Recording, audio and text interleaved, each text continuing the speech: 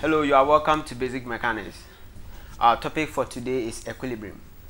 My name is Brian Frimpong and I'm your host. Lesson outline. At the end of the lesson, you should be able to understand equilibrium in terms of all the equilibrium conditions.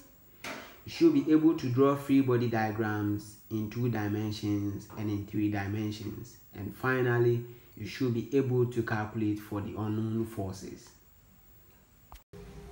According to Newton's first law of motion, if the system of forces acting on a body has zero resultant, the body will remain at rest or move in a straight line with constant velocity.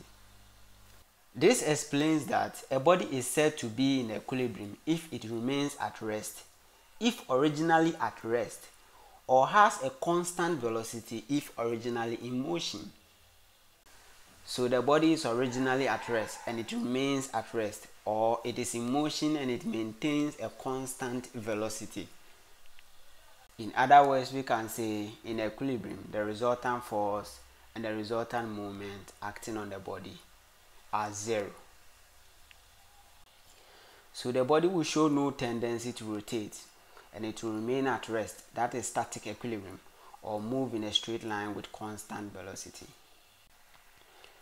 All this satisfies Newton's first law, which requires the resultant force acting on a particle to be equal to zero.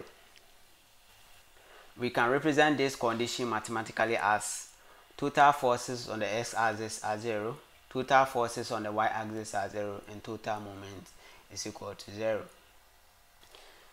These requirements are both necessary and sufficient conditions for equilibrium. You have to take note of that. All physical bodies are three dimensions. All bodies in this are three dimensions, but we can treat many of them as two dimensions when the forces to which they are subjected act in a single plane or can be projected onto a single plane. In situations where this is not possible to project onto a single plane or it acts on a single plane, then you have to treat this as three-dimensional. When solving equilibrium problems, these are the three main steps you have to follow. First, you draw free body diagram for the problem. Then, you obtain equations of equilibrium for the problem. And finally, you solve the equations and interpret your results. There's this normal student saying that understanding of the question is part of the answer. So first of all, you make sure you read the question at least twice for you to understand the question well. You draw your free body diagram, you obtain your equations, and finally you solve the equations. Now let's take the three main steps one after the other. So first of all, let's look at the free body diagram. A free body diagram in physics and engineering can also be called force diagram. It can be represented with the initials FBD which simply means free body diagram. It is a graphical illustration used to visualize the applied forces, moments, and resulting reactions on a body in a given condition. So the underlying word here is a given condition. So your free body diagram should correspond with the given conditions in the question. The body in question may consist of multiple internal members. So the free body diagram should depict a body or connected bodies with the applied forces and moments and reactions which acts on the body. Please note that in some complex problems, you need several or series of free bodies and other diagrams to be able to solve such problems. To construct a free body diagram which will correspond with the conditions on the body, first of all, you sketch the outline shape of the body.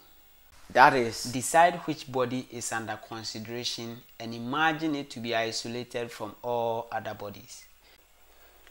Step 2. You show all the forces acting on the body.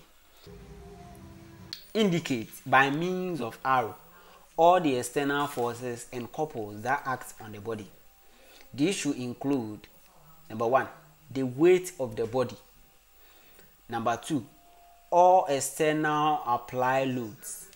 Number three, reaction at supports from which the body was detached. And finally, forces due to contact with other bodies from which the body was isolated. Step 3 Identify each force. The forces that are known should be labeled with proper magnitudes and directions. Letters are used to represent the magnitudes and directions of forces that are unknown. That is how to construct a free body diagram. Let's move on to look at some examples of free body diagrams. With this diagram, a block of a known mass is resting on the inclined plane. The mass of the block is m and the block is exerting a weight. So weight is equal to mass times gravity. That is what we have over there. The inclined plane is also responding to the weight which is being exerted by the block. So the reaction is the normal reaction we have n over there. And the inclined plane there's a force, um, frictional force opposing the motion of the block on the inclined plane. That is F. Let's look at the next example of a free body diagram. Over here, a body of mass 15 kg has a force labeled P acting on it at an angle of 30 degrees. At point B, the body is being represented with the dot and the body is exerting the weight onto the surface and the weight is W. So weight is equal to mass times gravity. Mass is known and gravity is also known. Therefore, you multiply the mass by the gravity to get the weight. The force acting on the body P is being shown there at an angle of 30 degrees.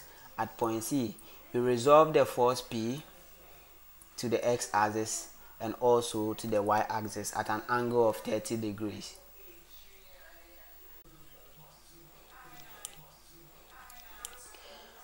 Draw free body diagram of the foot lever shown below. The operator applies a force of 20 pounds so that the spring is stretched 1.5 meters. So take a look at the diagram and the solution.